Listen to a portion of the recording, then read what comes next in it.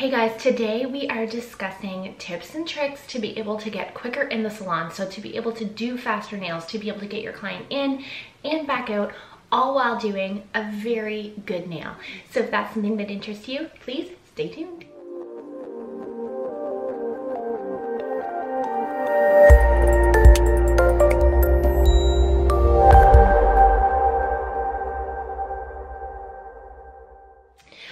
First thing to think about is to make sure each one of your steps is totally and entirely on point before you try to speed it up.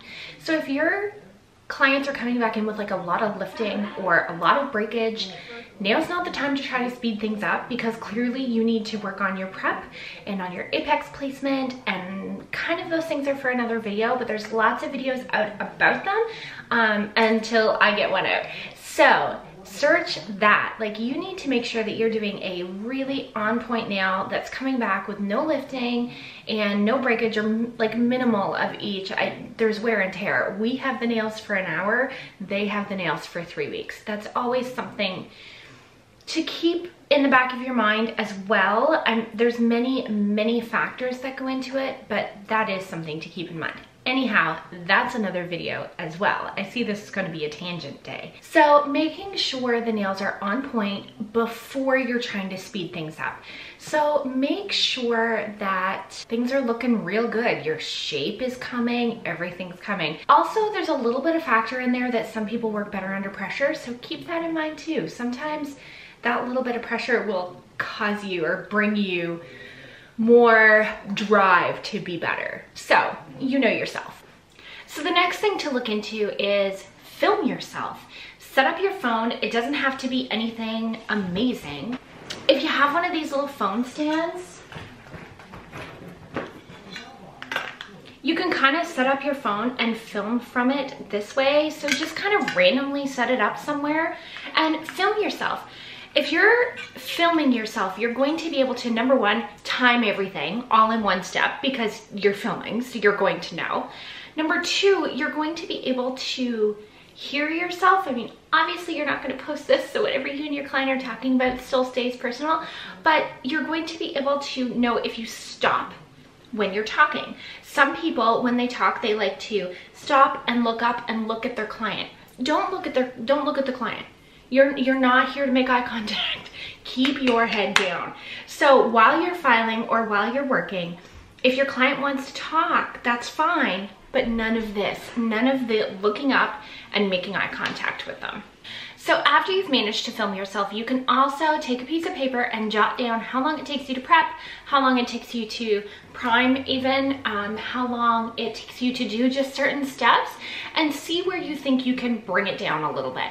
It never hurts to watch some full videos too. Um, like Tabitha Scott has a few full videos out there. You can kind of see her working and she is voicing over her videos.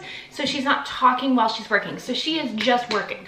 So you're able to, I mean, I'm sure she's edited, but you're able to see how long it's taking her to do certain things.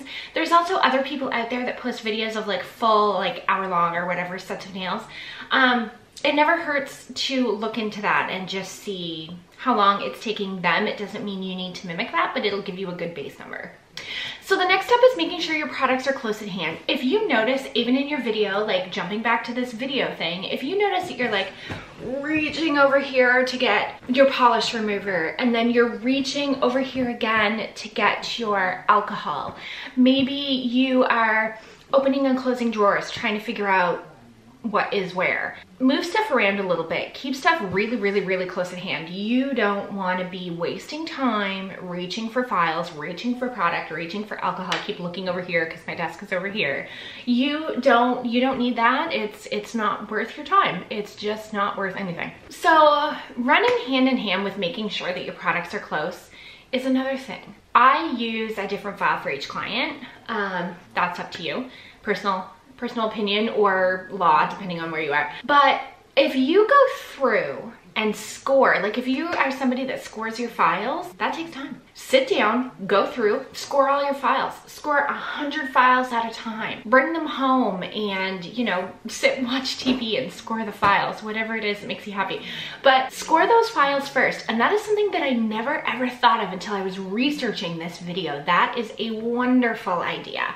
Another thing that I use, and you've seen it in my tutorial videos, is the blue shop towels down. I cut them and they're, I use them for wiping my acrylic brush and I also use them for wiping um, my art brushes. Pre-cut those like I sit down with a roll or two or sometimes three and a big freezer Ziploc bag and pre-cut those, have them all ready. I just bring them in, throw them in a bottom drawer. And when I need to replace the stack in my closer drawer, I just throw them in there and they're all set. So another factor when trying to decide what's where your extra time is coming from is how your clients are coming back in. So I kind of talked about this in the beginning, but I'm jumping back to it because it's really important. If your client is coming back in with a lot of lifting, then maybe you need to look at your prep. Maybe that's something you need to kind of go through really slowly on your own, of course, or with a friend or even with another nail tech and just see what's happening there. Maybe uh, there's so many maybes. There's a thousand maybes when it comes to prep. Um, I don't think I'll get into those today, but maybe your prep just isn't on point and you're filing a lot of lifting when they're coming back in. So if you're filing lifting and cleaning up lifting for a half an hour, that's a half an hour. Like that is too long. 10 minutes, like it shouldn't take you that long to prep the nail for more product. So just keep that in mind. If it's something that is consistently coming back, you're consistently coming back with a lot of lifts or something,